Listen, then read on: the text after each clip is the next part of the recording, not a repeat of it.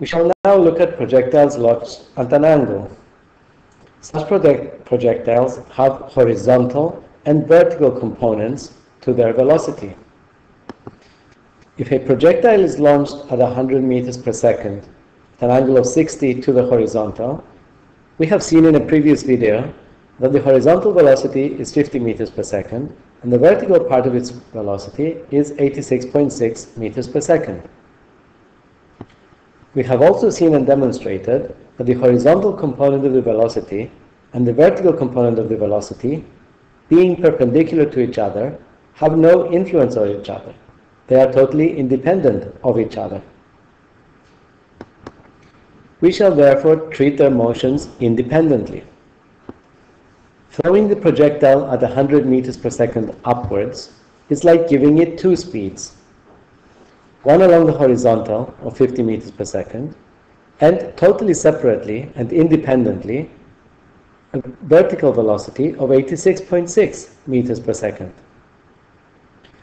That means that 100 meters per second at an angle of 60 degrees to the horizontal is equivalent to a horizontal velocity of 50 meters per second and a vertical velocity of 86.6 meters per second. Upon projection, the path followed by the projectile is parabolic. The path followed by the projectile is called the trajectory. The maximum distance the projectile travels along the horizontal is called the range. While the projectile is in air, the vertical and the horizontal motion are totally independent of each other. That is because they are perpendicular to each other.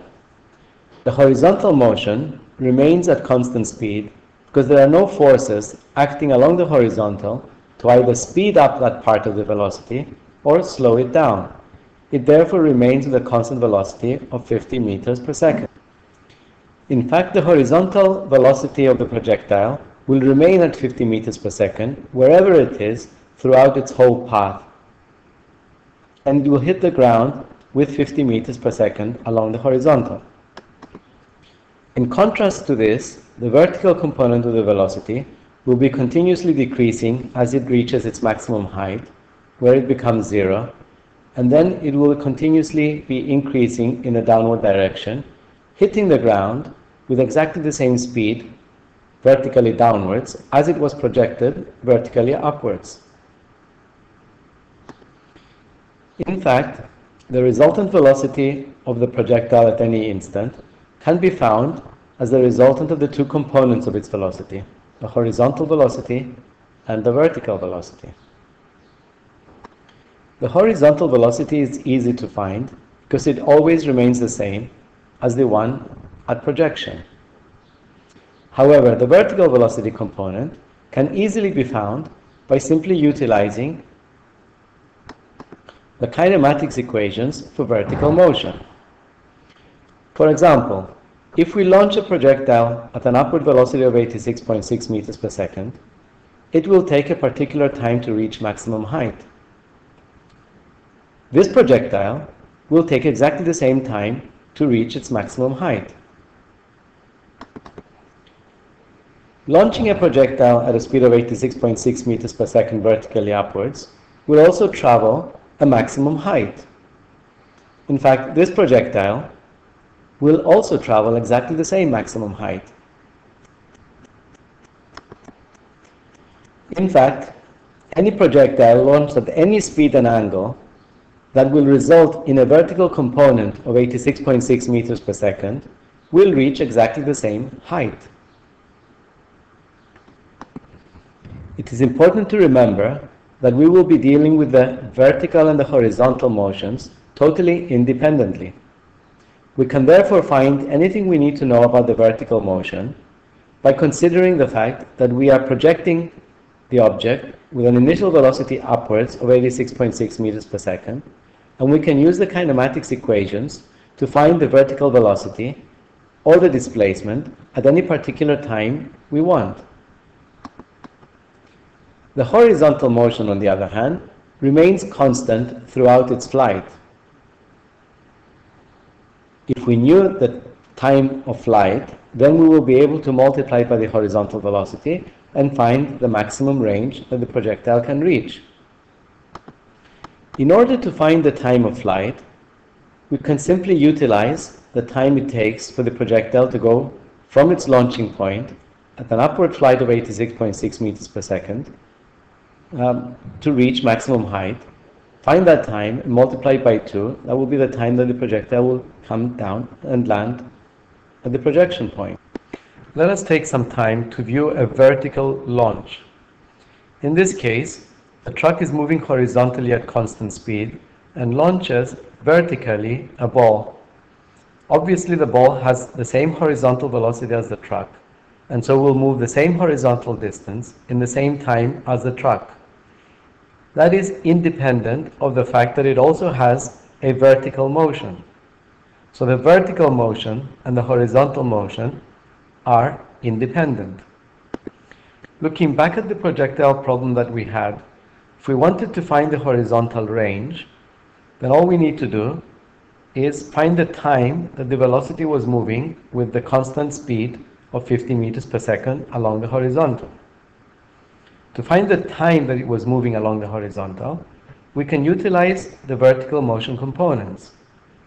That time that it was moving along the horizontal at 50 meters per second, it's exactly the same as the time that the ball took to go from um, launching point to maximum height and fall back down again if it were launched at a vertical velocity of 86.6 meters per second. Let us do this. The total time of flight can be found from it considering its vertical motion only. So if the body is fired upwards with a vertical part of its velocity at 86.6 meters per second, we can find its time to reach the maximum height and therefore the time of flight. So the time of flight can easily be found by using equation 1.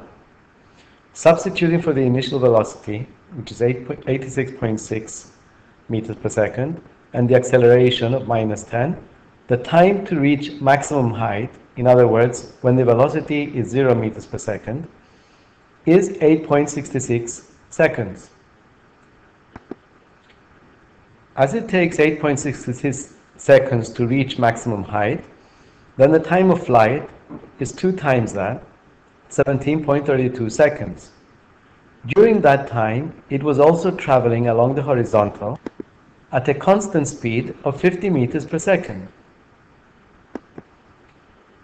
As it was in the air for 17.32 seconds, traveling at a constant speed of 50 meters per second, that means that it traveled a total horizontal distance of 866 meters. So to get the range, we multiplied the horizontal speed with the time that it was moving at that horizontal speed, which was the time of flight. The time of flight was found by utilizing the vertical velocity components. The distance traveled to maximum height can easily be found. We do this using the vertical velocity component. To find the maximum height or distance traveled along the vertical, when projected with a vertical velocity component of 86.6 meters per second, we can utilize equation 2. Substituting into equation 2 gives us a maximum height of 375 meters. In conclusion, treating the vertical and the horizontal parts separately we have managed to find the range of the projectile and its maximum height. In a similar way, we can treat the vertical motion of the object independently and find information we want about the vertical component of the velocity at any particular time instant. Whereas the horizontal velocity will always remain constant. Utilizing information about the vertical and horizontal velocity components, we can find the resultant velocity of the ball and in fact its direction of travel. We can use Pythagoras and trigonometry to do this.